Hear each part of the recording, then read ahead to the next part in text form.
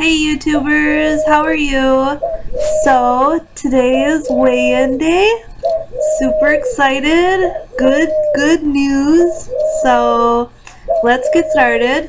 Last week I weighed 204.1.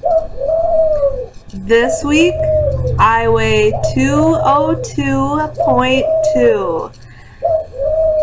Total of 1.9 pounds lost for this week and 50.8 pounds total. I've lost it. I've lost 50 pounds.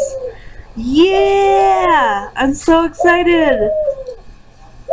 I can't, I'm just, woo, just so excited. Lost 50. If you have congratulations, go ahead now if you're holding it or whatever. So, just super happy about it. So, um, yeah, 50 pounds lost. I'm so excited. Um, so, as you all know, if you don't know, my goal now is to get out of the 200 club and into the 100, so I have like 2-3 pounds to go. And also at the same goal is to lose another 50, so I'll be at 153 when I lose another 50. So let's just keep going and keep at it. I'm super stoked. My clothes fit better, everything. I just want to get down there and be able to fit into smalls and and nice pants and get the stuff I want. Like I'm sick of all these big clothes don't look nice. They don't make good big clothes for big people.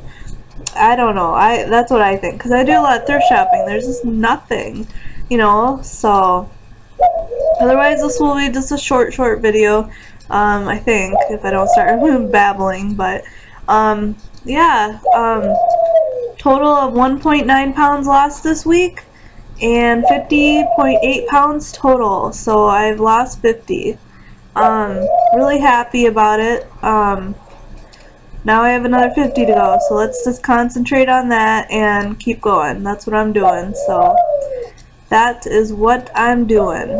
Alright, well, this is a short video because I just have a lot to do today, so gotta clean and all that stuff, so alright, peace!